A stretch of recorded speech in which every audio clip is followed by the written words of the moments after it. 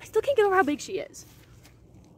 My dad says she's not as big as the one that he caught a few weeks ago, but I highly doubt that. She is, she's a monster. So yeah, wave goodbye, Big Mama. Thank you.